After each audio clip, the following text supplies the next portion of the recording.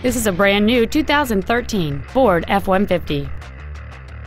It features a 3.5 liter engine, an automatic transmission, and the added safety and control of four wheel drive.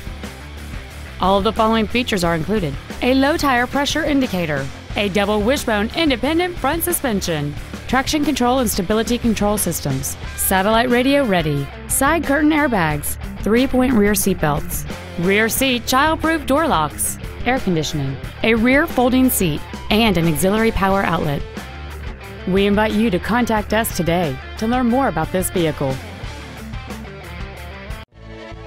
Reynolds Ford is dedicated to doing everything possible to ensure that the experience you have selecting your next vehicle is as pleasant as possible.